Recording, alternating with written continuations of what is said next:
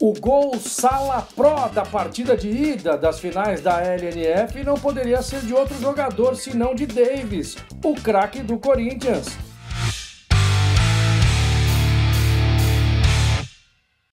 A jogada já começa com um lindo passe de Levi, uma tacada de sinuca para encontrar o camisa 10 do timão. O pivô apenas protegeu do goleiro e tocou de letra pro gol.